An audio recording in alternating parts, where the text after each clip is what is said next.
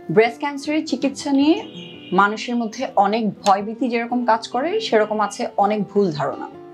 কোথায় যেতে হবে, কার কাছে যাবেন, কীভাবে চিকিৎসা শুরু করবেন, চিকিৎসার খরচ কি কি কি ধরনের চিকিৎসা আমাদের দেশে অ্যাভেলেবেল আছে এবং সেগুলো আসলে কতটুকু কার্যকর, সেটা নিয়ে মানুষের মধ্যে অনেক ভ্রান্ত ধারণা আছে। আমি আজকে চেষ্টা করব আপনাদেরকে খুব ব্রিফলি বা খুব ছোট করে আর সহজভাবে জিনিসটা যাতে আপনাদের বোধগম্য হয় ওভাবে কিছু তথ্য আপনাদেরকে দেওয়ার জন্য স্তন ক্যান্সারের চিকিৎসার বিষয়ে। স্তন ক্যান্সার চিকিৎসার ক্ষেত্রে আসলে বেশ কিছু পদ্ধতি আছে, যার মধ্যে একটা হচ্ছে অপারেশন বা সার্জারি এগুলো ছাড়াও কেমোথেরাপি আছে রেডিওথেরাপি আছে হরমোন থেরাপি আছে ইমিউনোথেরাপি আছে।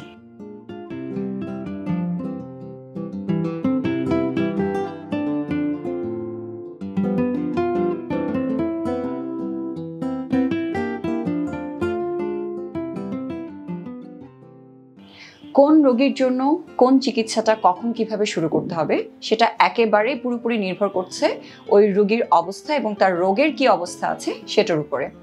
সো যখন একটা ক্যান্সার রোগ ডায়াগনোসিস হয়, তখন সেক্ষেত্রে প্রথমে আমরা এই জন্য যে কাজটা করি, সেটা হচ্ছে স্টেজিং করা।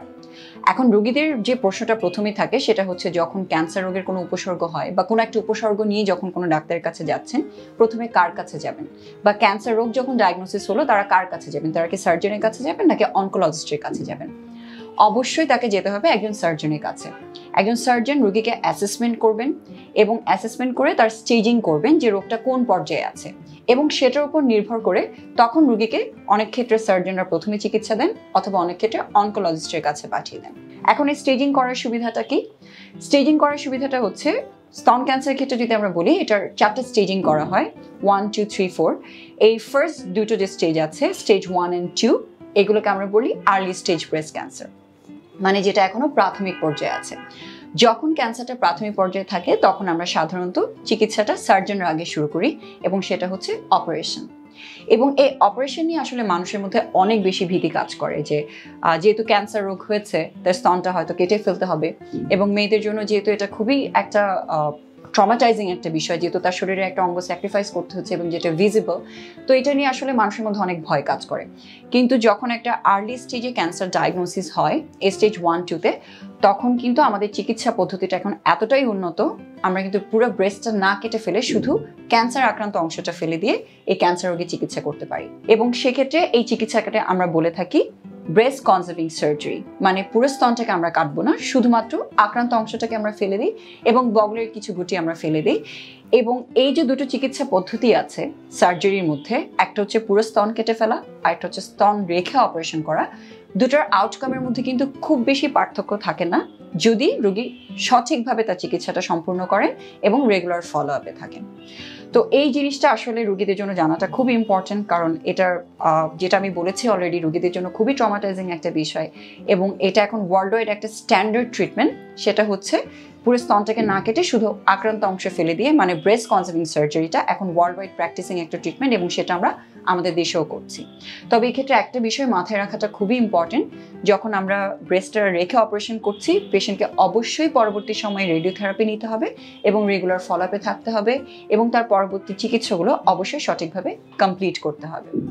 সো যখন যেটা বললাম, যখন স্টেজ ওয়ান অ্যান্ড টু থাকে, তখন সেক্ষেত্রে আমরা যেরকম ব্রেস্ট কনজার্ভিং করতে পারি, কিন্তু যখন রোগটা আরও বেশি অ্যাডভান্স হয়ে যায় স্টেজ থ্রি বা ফোরে চলে যায়। স্পেশালি স্টেজ থ্রিতে থাকলে তখন আমাদের বেশিরভাগ ক্ষেত্রে স্তনটা কেটে ফেলতে হয়, যেটাকে আমরা বলি ম্যাস্টেকটমি তবে অনেক ক্ষেত্রে এইসব ক্ষেত্রে আমরা রুগীদেরকে নিউ অ্যাডজুভেন কেমোথেরাপি দিয়ে চাকাটাকে ছোট করে নিয়ে ব্রেস্ট কনজারভেশন করতে পারি। তবে সেটা আসলে রোগীর অবস্থার উপর নির্ভর করে। এই যে কথাটা আমি বললাম নিউ অ্যাডজুভেন কেমোথেরাপি সেটা কি? সেটা হচ্ছে যে জিনিসটা আমি বলেছি, যখন রোগটা অ্যাডভান্স হয়ে যাচ্ছে টিউমারের সাইজটা যখন বড় হয়ে যাচ্ছে, তখন সেক্ষেত্রে আমরা রুগীদেরকে অনকোলজিস্টের কাছে পাঠিয়ে দিই। ওনারা তখন রুগীদেরকে কেমোথেরাপি দেন এবং কেমোথেরাপি দেওয়ার পর যখন চাকাটা ছোট হয়ে আসে, তখন সেক্ষেত্রে আমরা পরবর্তী সময় অপারেশনে যাই। সো এই জিনিসটাই আসলে আমি এতক্ষণ বলছিলাম যে স্টেজ অনুযায়ী রুগীর চিকিৎসাটা কে দিবেন সেটা আসলে নির্ধারিত হয়। সো স্টেজ ওয়ান টু হলে সার্জনরা আমরা আগে চিকিৎসা দিই অপারেশন করি এবং থ্রি ফোর যখন হয়, তখন সেক্ষেত্রে আমরা অনকোলজিস্টের কাছে পাঠিয়ে দিই। সো যেরকম এই ক্ষেত্রে আমি কেমোথেরাপির কথা বললাম, যে টিউমারটা ছোট করে তারপর সার্জারিতে যাওয়া, যেটাকে বলছি নিউ অ্যাডজুভেন কেমোথেরাপি সেরকম যাদের ক্ষেত্রে আমরা প্রথমে অপারেশনে যাচ্ছি, তাদের ক্ষেত্রে অপারেশন পরবর্তী সময় অনেকেরই কেমোথেরাপি দিতে হয় এবং সেই কেমোথেরাপিটাকে আমরা বলি অ্যাডজুভেন কেমোথেরাপি এবং এই কেমোথেরাপির বিষয়েও আসলে রোগীদের মধ্যে অনেক ভয় কাজ করে, যে কেমোথেরাপি দিলে বেঁচে থাকবেন কিনা বা অনেকে ভয় পান যে তার হয়তো চুল পড়ে যাবে, অনেকের শুকিয়ে যান বা নখের রং পরিবর্তন হয়ে যায়, অনেক ধরনের পরিবর্তন আসলে দেখা যায়। এটা ঠিক যে কেমোথেরাপি ওষুধটা যখন আমরা ব্যবহার করছি, তখন রোগীদের অবশ্যই বেশ কিছু পার্শ্ব প্রতিক্রিয়া হয়, যার মধ্যে যেগুলো আমি বললাম, এগুলো যেরকম আছে। কিন্তু যখন এই চিকিৎসাটা শেষ হয়ে যায়, কেমোথেরাপি যখন তার নেওয়া শেষ হয়ে যাবে, তখন কিন্তু রোগীর এই অবস্থাগুলো আগের পরিস্থিতিতে চলে যায়। যেমন যার হেয়ার ফল হচ্ছে, তার আবার কিন্তু নতুন করে চুল গজাবে। অথবা রুগী যে খাবার রুচিটা কমে যায় বা অনেক বেশি ডায়রিয়া হওয়া বা এই ধরনের যে সমস্যাগুলো থাকে, সেগুলো কিন্তু আস্তে আস্তে রুগী তার স্বাভাবিক অবস্থায় ফেরত চলে যায়। তো সাময়িকভাবে অবশ্যই রোগীর কিছু অসুবিধা হয়, কিন্তু আপনি যদি তার ব্রডার স্পেকট্রামটা চিন্তা করেন, রোগীর ভালোর জন্য আসলে ওইভাবে চিকিৎসাটা নেওয়াটা খুবই খুবই ইম্পর্টেন্ট এগুলো ছাড়া আমরা আরও কিছু চিকিৎসার কথা যেটা বলেছি যে অনেক সময় রেডিওথেরাপি দিতে হয় স্পেশালি বললাম যাদের ব্রেস্ট কনজারভেশন করতে হয়, তাদের ক্ষেত্রে অবশ্যই রেডিওথেরাপি দিতে হয়। অনেক সময় পুরো ব্রেস্ট কেটে ফেললেও রেডিওথেরাপি দিতে হতে পারে। সেটা নির্ভর করছে তার যে ফাইনাল হিস্টোপ্যাথোলজি রিপোর্ট আছে, সেটার উপর। এবং স্তন ক্যান্সারের ক্ষেত্রে আরও দুটো থেরাপি আসলে আমরা দিয়ে থাকি, যেগুলো হচ্ছে হরমোন থেরাপি এবং ইমিউনোথেরাপি এবং সেটাও আসলে রোগীর হিস্টোপ্যাথোলজি এবং ইমিউনো হিস্টোকেমিস্ট্রি রিপোর্ট এগুলোর উপর ডিপেন্ড করে আমরা নির্ধারণ করে থাকি।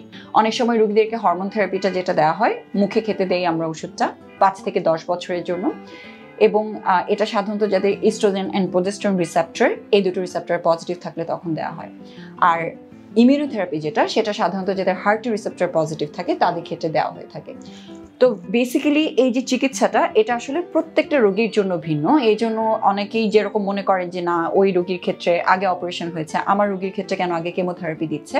এটা আপনাকে মাথায় রাখতে হবে। প্রত্যেকটা রোগী যেরকম ভিন্ন, তাদের রোগের স্টেজটা হয়তো ভিন্ন, তার যে ক্যান্সারটা রয়েছে সেটার প্রকৃতিও হয়তো ভিন্ন। এই জন্য আমরা প্রত্যেকটা রোগীর জন্য আসলে তার জন্য ইন্ডিভিজুয়ালাইজড একটা ট্রিটমেন্ট প্ল্যান করি, যেটা রোগীর জন্য সবচেয়ে ভালো আউটকামটা নিয়ে আসবে। সো এই জন্য আসলে আপনাদের যেটা করতে হবে, যেটা আমি শুরুতেই বলেছি, যদি কোনো ধরনের এরকম উপসর্গ থাকে বা আপনার রোগ নির্ধারণ হয় যে ক্যান্সার হয়েছে ব্রেস্ট ক্যান্সার আপনি অবশ্যই একজন সার্জারি বিশেষজ্ঞের কাছে যাবেন। তিনি আপনাকে ভালোভাবে দেখে সব কিছু বুঝে তারপর আপনাকে একটা চিকিৎসা প্ল্যান করে দিবেন এবং আপনার দায়িত্ব হচ্ছে সঠিকভাবে সঠিক সময়ে চিকিৎসাটা নেওয়া। এবং এই সঠিক চিকিৎসার মাধ্যমে কিন্তু আপনি দীর্ঘ সময় সুস্থ থাকতে পারবেন, ভালো থাকতে পারবেন। আশা করছি এই তথ্যগুলো আপনাদের কাজে লাগবে এবং সঠিক সময় আমাদের কাছে এসে আপনারা সঠিক চিকিৎসাটা নেবেন।